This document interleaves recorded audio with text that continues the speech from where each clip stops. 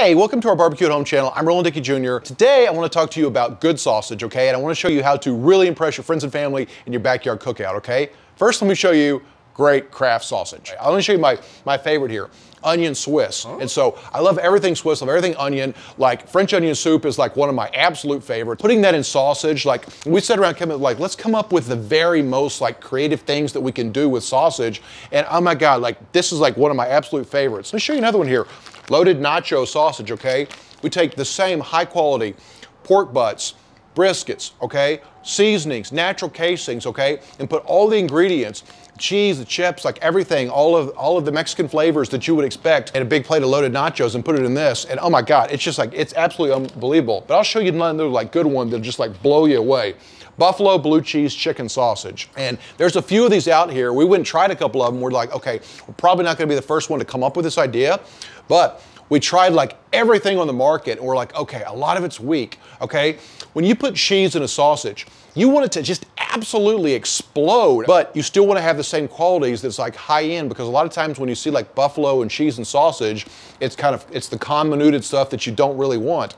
And so we decided that ourselves with barbecue at home and Dickey's to take it up to that next level. What we did is we took all of our recipes and we sell actually so much sausage that we couldn't get all of our sausage made in every single restaurant every day and for barbecue at home every day. So we built our own facility and we said our goal is to is to take it up to the next level, to have better sausage than anybody else out there has got. My advice is when you have a backyard cookout, what you want to do is keep it limited, okay? Have ribs, maybe brisket and sausage. Always have sausage because you need that spicy flavor that contrasts everything else, your whole muscle products, and have that, but make sure it's good. Do less well. Make sure that every single thing that you serve is just really, really good, okay?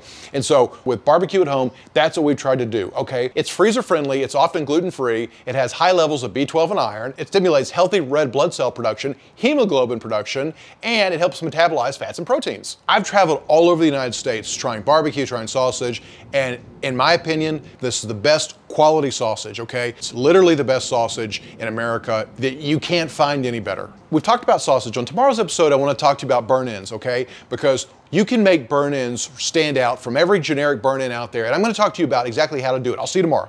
For more barbecue content, like and share this video and ring the bell. You'll get notifications when the new video appears. Find us on Facebook, Instagram, Pinterest, LinkedIn, and barbecueathome.com.